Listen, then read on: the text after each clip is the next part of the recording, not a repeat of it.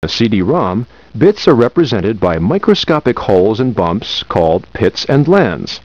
When a laser beam is reflected off of these tiny hills and valleys into a photodiode, they turn into an electrical pulse that a computer recognizes as a stream of zeros and ones, thus recreating words, images, and sounds.